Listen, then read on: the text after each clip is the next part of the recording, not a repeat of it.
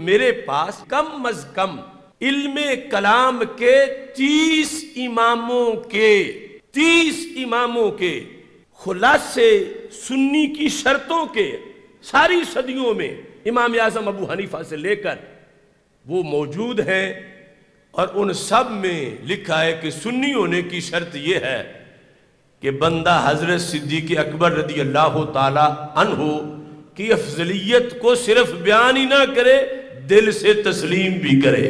इस बात को हमेशा जब बयान किया गया तो राफजियों ने शकू को शुभात पैदा किए।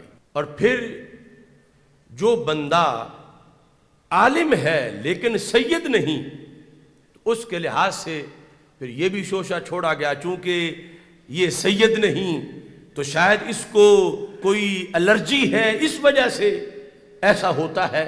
इस पर भी अलमेनकुबरा जो इमाम अब्दुल वहाब शारानी की किताब है, उसमें उन्होंने ये दर्ज किया कि मुहिब तिबरी, जो मुफ्ती हरमैन है, उनसे एक बहुत बड़े सैयदजादे ने ये कहा। वो खुद रवायत करते हैं और उसको इमाम अब्दुल वहाब शारानी ने अल मिनकुबरा के सफ़ा नंबर चार सौ इक्यानवे पे दर्ज किया है। कहते हैं कि मुझे उन्होंने कहा बे तरीक़िन कदम तुम अबा बकरिन अला अलीन रदी अल्लाह तहो किस बुनियाद पर तुमने हज़रत सिद्दीक अकबर रदी अल्लाह तहो को हज़रत मौला अली रदी अल्लाह तहो पे मुकदम किया है? इसका सबब क्या है? माँ गजारत इल्म ही व कुर्ब ही मिर रसूल सल्लल्लाहु अलैहि वसल्लम। उन्होंने कहा, ना मौला अली रदी अल्लाह तहो जितना किसी के पास इलम है, और ना ही जितना उन्हें कुर्ब हासिल है, रसूल अकरम वसल्लम की ज़ात के साथ, किसी और को ऐसा कुर्ब हासिल नहीं है। तो फिर तुम किस बुनियाद पर हज़रत सिद्दीक अकबर रदी अल्लाह तहो को मौला अली पर मुकदम करते हो? इन्होंने जवाब दिया, या सैदी इन्ना लम अबा बकरिन हम कौन होते हैं कि अपनी राय से हज़रत अबू बकर सिद्दीक रदी अल्लाह तहो को मुकदम करें, हज़रत मौला अली रदी अल्लाह तु पर? हम कौन होते हैं? यानी कितनी सदियाँ पहले, चूँकि रवाफिज तो दौरे से आबा में ही शुरू हो गए थे। कहा, हम कौन होते हैं कि हम मुकदम करें?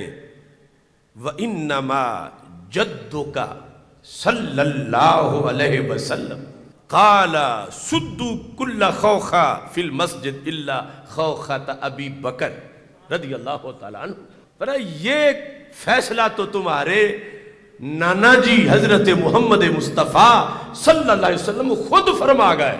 जब उन्होंने फरमाया था कि मस्जिद नबवी शरीफ में जिनके घरों के दरवाजे खुलते हैं, सब के बंद कर दो। सिर्फ़ सिद्दीक अकबर रदी अल्लाह तु का दरवाज़ा खुला रहे। और आज भी मस्जिद नबी शरीफ में अंदर उस जगह पे लिखा हुआ है, खौखा तो अभी बकर सिद्दीक रदी अल्लाह तु बाबू सलाम वाली साइड में जो दीवार है उसके अंदर। तो मुहिब तिबरी सैयद साहब को जवाब देने लगे कि ये हमने ऐसा नहीं किया। ये तो हज़रत मोहम्मद मुस्तफ़ा सल्लल्लाहु अलैहि वसल्लम ने फरमाया।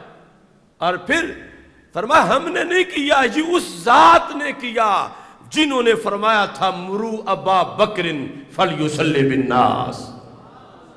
कि जब सिहाबा मुंतजर थे कि हमारे आका सलाम तशरीफ़ लाएँ और सरकार उठे, मगर अलालत इतनी थी कि उठ ना पाए, फिर चाहा उठ ना पाए और उधर मुसलसल इंतज़ार हो रहा था कि महबूब सल्लल्लाहु अलैहि वसल्लम तशरीफ़ लाएँ और मुसल्ले पे जमात कराएँ तो बिल आखिर फरमा मुरू अबा बकरिन फल युसल्ली बिन्नास। अबू बकर सिद्दीक रदी अल्लाह अनहो को कहो कि मेरी जगह मुसल्ले पे वो जमात कराएँ। ये उन्होंने मुख्तसर हवाला दिया, क्योंकि इसमें वो लफज भी हैं। बुखारी शरीफ में कि जब हज़रत आयशा सिद्दीक़ा रदी अल्लाह तहा इसरार कर रही थी कि नहीं, अब्बा जी, रकीकुल कल्ब हैं। हज़रत उमर रदी अल्लाह तु को मुसल्ला दे दो। और हज़रत हफ्सा को भी हम नवाब बनाया। और सरकार से जब कहा तो बिल आखिर मेरे आका सल्लल्लाहु अलैहि वसल्लम ने फरमा इन्ना कुन्ना लन तुन्ना सवाहिब यूसुफ या बल्लाहु वल मोमिनून। फरमा तुम अपनी जिद ना करो। जिस तरह के यूसुफ सलाम के पास बैठी खवातीन जिद कर रही थी जिद में तशबी है, अपनी बात मनाने की कोशिश ना करो। रब किसी और को मानते ही नहीं कि वो मेरी जगह खड़ा हो। रब ने इनकार कर दिया है।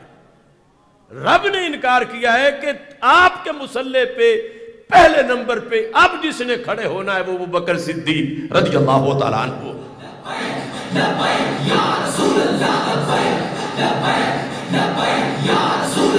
ये मुहिब तिबरी कहने लगे, वह करना हाजल हदीस अब सनद ये हदीस हमने सनद से पढ़ी है।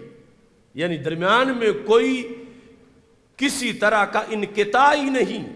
सनद से हमने पढ़ी है, इला रसूल सल्लल्लाहु सरकार तक ये सनद सही जाती है। तो साबित हुआ कि सरकार ने यकीनन फरमाया है, वह कोबेदा रसूल वसल्लम। और जब सरकार दो आलम अलैहि दुनिया से तशरीफ़ ले गए। फ़कालत तो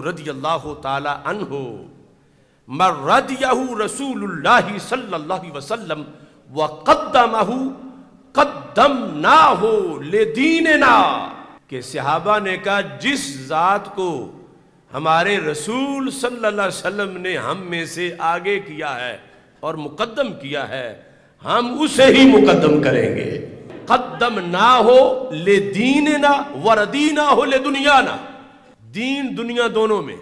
अब इससे वलायत कहीं बैर तो नहीं रह गई। दीन और दुनिया दोनों के लिहाज से हमारे आका सल्लल्लाहु अलैहि वसल्लम ने जिस ज़ात को हमारा इमाम बनाया, हमने उसे ही सरकार दो आलम सल्लल्लाहु अलैहि वसल्लम के बाद मुकद्दम करार दिया, हाथ पे बैत कर ली।